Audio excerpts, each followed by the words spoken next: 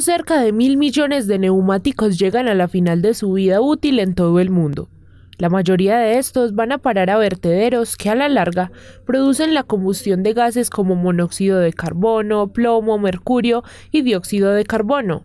Este último se queda en la atmósfera, no permite la salida de calor al espacio y hace que la temperatura de la Tierra aumente.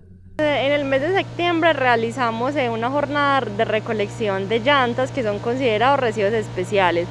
La realizamos el día jueves 10 de septiembre y fuimos puerta a puerta por los talleres que se inscribieron para la, para la recolección.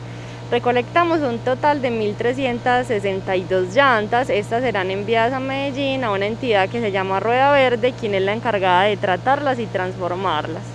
Las empresas públicas de Urrao continúan adelantando estrategias para prevenir y evitar el mal uso de estos residuos, por lo que hace poco realizó una recolección de neumáticos y otra de colchones.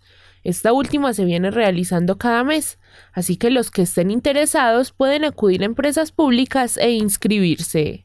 La recolección de los colchones eh, se realiza eh, aproximadamente cada mes. Para esto los usuarios deben de ir inscribirse a la empresa o llamar, allá se les piden los datos y se anotan y cuando ya se vaya a hacer la recolección se les notifica uno o dos días antes para que estén listos para la recolección de los colchones, para que no los tiren ni en, ni en los caños ni pues, en lugares no autorizados. Recordemos que la fabricación de neumáticos modernos gasta en torno a 32 litros de petróleo, mientras que los neumáticos de los camiones consumen 100 litros. Por otra parte, los colchones colocados en un lugar inadecuado pueden provocar contaminación a fuentes hídricas y especies que allí habitan. Seamos más conscientes con las especies vegetales y animales que nos rodean y no cometamos estos actos que, aunque parecen insignificantes, son demasiado perjudiciales incluso para los humanos.